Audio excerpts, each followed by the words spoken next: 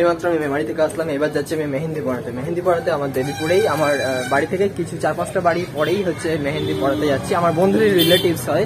তো চলো, দেখা যাক, সেখানে গিয়ে দেখা হচ্ছে কেমন মেহেন্দি পড়াচ্ছি। তোমরা সাথে থাকো, দেখতে থাকো। একজনে ছবি আঁকে, এক মনে আরেকজনে বসে বসে রং মাখে।